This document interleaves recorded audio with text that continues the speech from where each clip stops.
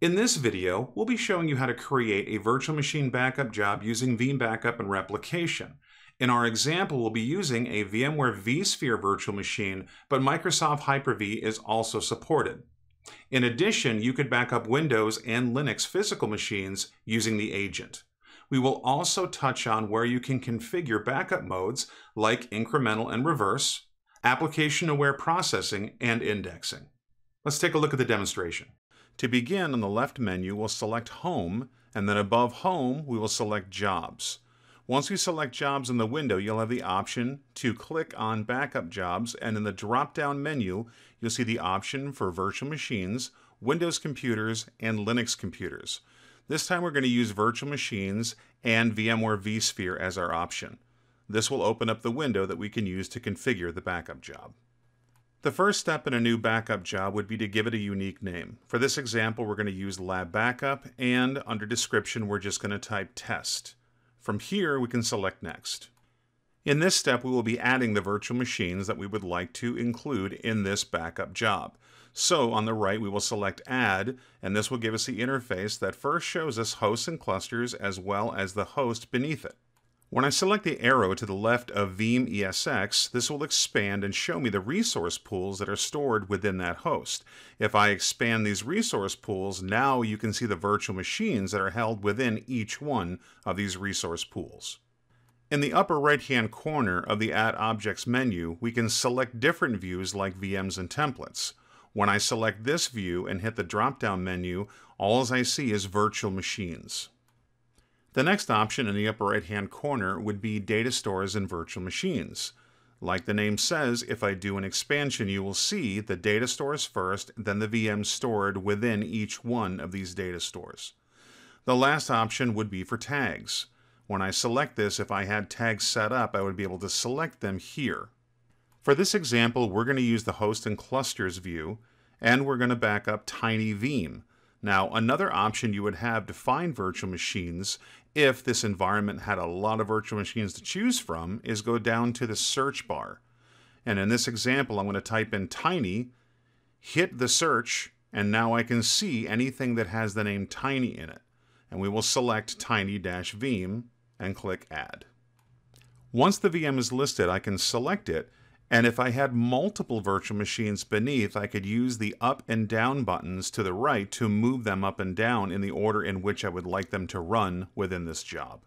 Let's go ahead and select Next. Under Storage, at the top of the menu, we see Backup Proxy. If we would like to change the automatic selection, we can click Choose, and from here we have the additional option of Use a selected backup proxy servers only. So in here we can control which backup proxies we're going to send this job through. I'm going to select cancel and move on to the next, which is the backup repositories. In the dropdown, you'll see multiple options for different repositories. We're going to leave the one that was there originally and then move on to the next option, which is configure secondary destination job. This is for backup copy configuration. If I select the checkbox, you'll notice an additional option appears over on the left side. This is called secondary target. If I uncheck the box, it will disappear.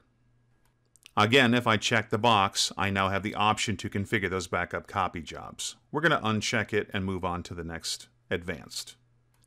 In the Advanced menu, you'll note that there's a lot of tabs to choose from. We're going to focus on the Backup tab because there are other videos in the How-To series that will go into more detail on these additional tabs. So let's go back to the Backup tab and focus on this content.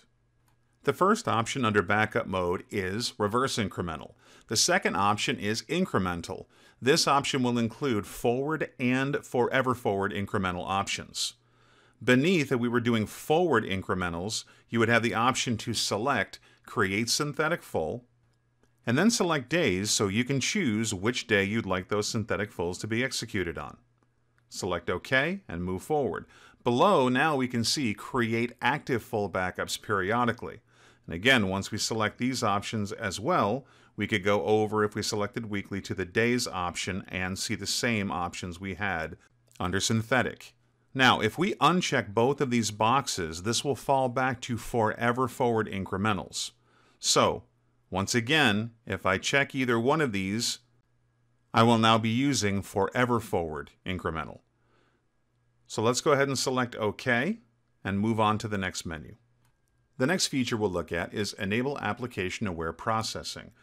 One of the reasons to use this is to take advantage of Microsoft VSS or Volume Shadow Copy service to be able to grab in-flight information and commit it to the disk before the snapshot is taken. Now, if we check the box, we'll see now that we're able to select Applications. In the Applications menu, we see TinyVeeam and any other virtual machine that might be part of this job. So let's highlight Tiny TinyVeeam and select Edit, and in here you'll see first the General tab. The first option is for application aware processing, and we have three options beneath that we can select from, which is require successful processing, which is recommended, or try application processing but ignore failures, and last, disable application processing altogether. Next, we have transaction logs. This is going to be more toward database information capture from memory to the disk. Let's see how they defined it. Choose whether this job should process transaction logs upon successful backup. Additionally, it says log pruning is supported for Microsoft Exchange, Microsoft SQL Server, and Oracle. The two options included are process transaction logs with this job, which is recommended, or perform copy only. You'll see SQL and Oracle have been broken out into separate tabs, which means we can manage the transaction file capture for each one of these platforms in a separate way if we choose. Let's look at file exclusions next. In this menu, you have the option to disable file level exclusions, or you can exclude the following files and folders, or include only the following files and folders in separate menus. And as you can see, it's very easy to follow. Next, we have scripts. The require, ignore, or disable options are really controlling below the Windows pre-freeze and post-thaw scripts and Linux pre-freeze and post-thaw scripts that you can inject into these backup jobs within the operating system. Let's go ahead and click Cancel and then select OK. The next step will be to configure the guest OS credentials we'll be using to execute the processes during the Enable Application Aware processing. So here we're just going to select the administrator account and move on to briefly cover Enable Guest File Indexing. So we can check the box, click the indexing button. Here we can select TinyVeeam, and then when we select Edit, you'll see the option for Windows or Linux indexing. We'll select Windows, and in the options, we'll see Disable Indexing, Index Everything, or Index Everything except or Index only the following folders. So let's move out of there and then move down to the bottom where we see the guest interaction proxy. The guest interaction proxy is the server we're going to use to gain deeper access inside of the operating systems. If we select choose, you'll see that we can do automatic or we can actually prefer the following guest interaction proxy server and you can see the list below that we could select from, one or many. Let's cancel out of that and now we can select next.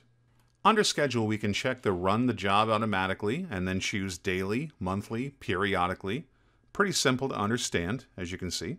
We also have the automatic retry option, and below that, you will see the backup window, which terminate jobs if it exceeds the allowed backup window, which you can configure here under Window. So let's go ahead and select Apply. Now we review the summary, and we can select Run this job when I click Finish, and then click Finish. Now we can select jobs in the left menu and over on the right side we'll see that lab backup job. Currently under status it shows zero completed and then in the next row we don't see anything listed yet. Now if we go down to the bottom and select running we can also see this job because it has begun. It's still over here it says zero completed. If we look at the bottom under Actions, we can watch each one of these take place step by step in order. This is a great place to make sure that everything is functioning properly or if you have any errors. As things begin to complete, you'll see them show up in the bottom. Here you can see more steps. And when it exceeds the size of that action window to the far right, you will see a bar that will allow you to scroll. Thank you for watching this demonstration, and make sure you check out more of the how-to videos in our series.